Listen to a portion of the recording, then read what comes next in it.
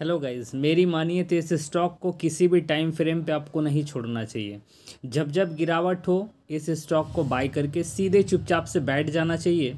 अगर आपने ऐसा किया होता तो आज आपके पास करोड़ों की प्रॉपर्टी होती है, इसमें कोई डाउट वाली बात नहीं होनी चाहिए।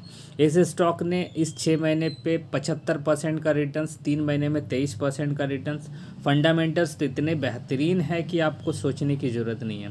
कंपनी इतनी धाकड़ इनका बिज़नेस मॉडल इतना बेहतरीन है, और ये जिस सेगमेंट पे है, उस सेक्टर और उस सेगमेंट का मतलब जो ये प्रोडक्ट बनाती है मार्केट लीडर है। जी हाँ मार्केट लीडर है, और कंपनी के बारे में और क्या बताऊँ कंपनी इतनी बेहतरीन है कि आपको यहाँ से देखने को बनता है। एक महीने में अगर आपने पैसे लगाए होते तो आपको पैसा बना के दे रहा था ये स्टॉक अगर तीन महीने के टाइम फ्रेम पे आप देखेंगे तो तीन तीन महीने के टाइम फ्रेम पे भी इस स्टॉक ने आपको पैसे बना के दिए हैं।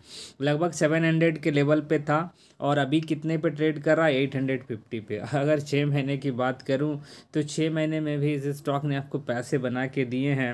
और अगर मैं इससे आगे की बात करूँ, एक साल की तो एक साल के टाइम फ्रेम में भी इस स्टॉक ने पैसे बना के दिए हैं। और देखिए, जब मार्केट अच्छा खासा गिर रहा था, तब इस स्टॉक ने अपने आप को संभाल के रखा। ये होता है एक अच्छे क्वालिटी के स्टॉक की निशानी, और मेरी मानिए यही सभी स्टॉक्स होते हैं एसआईपी के लिए। बेहतरीन शेयर। जी हाँ अभी मैं आपको और दिखाता हूँ, तीन साल के टाइम फ्रेम पे देखिए इस स्टॉक ने क्या पैसे बना के दिए हैं लोगों को। तीन साल में इस स्टॉक ने पैसे कहाँ बना के दिया? चार गुना कर दिया लोगों का पैसा। कि कोई ऐसा टाइम फ्रेम नहीं है जो इसने पैसे बना के नहीं दिया। और स्क्रीन के पीछे आपने स्टॉक का नाम देख लिया होगा, थोड़ा सा धैर्य रखें रखें और इसके चार्ट पैटर्न को देखिए। पाँच साल के टाइम फ्रेम में, जी हाँ पाँच साल के टाइम फ्रेम में इस स्टॉक ने लोगों को लगभग दस गुना से भी, बारह गुना रिटर्न्स इस स्टॉक ने निकाल के दिया, तेरह गुना रिटर्न्स निकाल के दिया।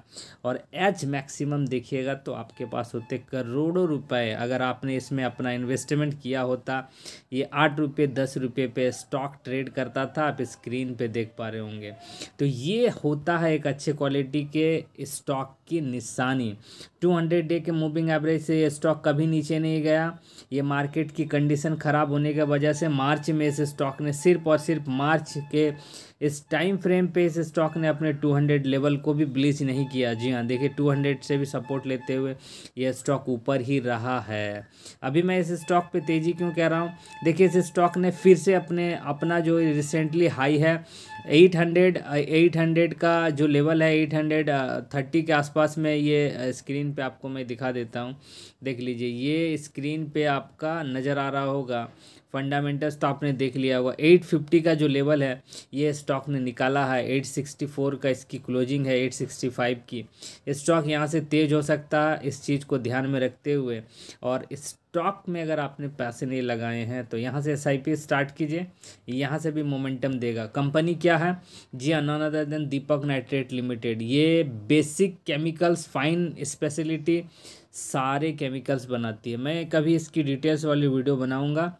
इस वीडियो पे मैं बहुत ज़्यादा डिटेल्स पे बात नहीं कर पाऊँगा बिकॉज़ मेरे पास बहुत ज़्यादा डिटेल्स इस कंपनी के बारे में कलेक्ट किया नहीं नहीं है। मैं इसको सिर्फ़ इसलिए आपके पास प्रेजेंट किया हूँ कि कल के ट्रेडिंग सेशन पे हो सकता है ये स्टॉक फिर से आपको तेज़ी दिखा सकता। और अगर आप इस स्टॉक पे माल उठाते हैं आपको फंसने वाली टेंशन नहीं होगी। एक, एक small cap company mid cap company जो सोचिए बट पैसे बना के देने में बड़े बड़े लार्ज लार्ज कैप स्टॉक्स का भी बाप है ये स्टॉक जी हाँ। स्टॉक का रिटर्न्स क्यों निकल रहा? रिटर्न्स इसलिए निकल रहा है कि इसके रिजल्ट्स बेहतरीन हो रहे हैं।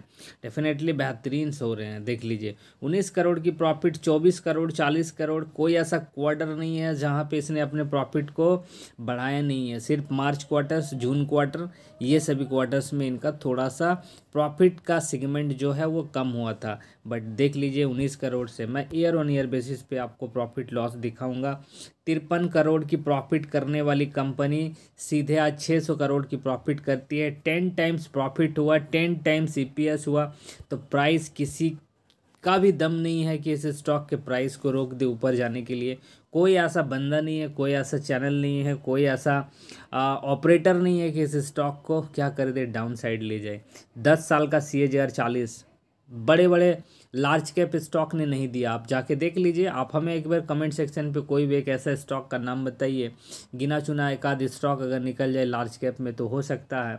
नहीं तो छियालीस परसेंट का, दस सालों का सीएजीआर आप हमें बताइए कि लार्ज कैप स्टॉक किसने निकाल के दिया। पाँच सालों में छियासठ परसेंट, तीन सालों में बासठ परसेंट और एक साल में डेढ़ सौ परसेंट का रिटर्न्स देखिए फंड मैनेजर्स जो म्यूचुअल फंड्स के फंड मैनेजर्स होते हैं, वो इसीलिए मिड कैप स्मॉल कैप और लार्ज कैप इन तीनों सेगमेंट पे अपना पैसा डिवाइड करते हैं। वो अलग बात है कि परसेंटेज अलग रहता है साठ से पैंसठ परसेंट, साठ से सत्तर परसेंट वो लार्ज कैप में लगाते हैं, दस से बीस परसेंट वो मिड कैप में लगाते हैं और लास्टली जो दस परसेंट पैसे बचते हैं वो स्मॉल कैप को, वो देते हैं बहुत सारे फंड्स स्मॉल कैप को नहीं लेते हैं तो इन दोनों दोनों कैटेगरीज के स्टॉक्स पे डिवाइड करते हैं। आप भी अपना पोर्टफोलियो तैयार कीजिए, ऐसे स्टॉक्स को चुनिए जो अभी रिटर्न्स दिया है तो आने वाले टाइम में भी रिटर्न्स देगा, क्योंकि इनका बिज़नेस का सिगमेंट बैठ चुका है, इसके कस्टमर्स बढ़ रहे हैं। कस्टमर्स घट नहीं रहे हैं, तभी तो इनके प्रॉफिट्स क्या हो रहे हैं? कंटिन्यू प्रॉफिट दे रहा है। इसीलिए आज के लिए भी, कल के लिए भी, और आने वाले कल के लिए भी तीनों टाइम फ्रेम पे ये स्टॉक फिट बैठता सुपर हिट स्टॉक मैं आपके साथ चर्चा कर रहा हूँ दीपक नाइट्रेट याद रखिएगा, अपने वॉच लिस्ट में रखिएगा और आपको जब मौका मिले ऐसे स्टॉक पे पोजीशन बनाइए, भूल जाइए, ऐसा स्टॉक है ये क्वालिटी का।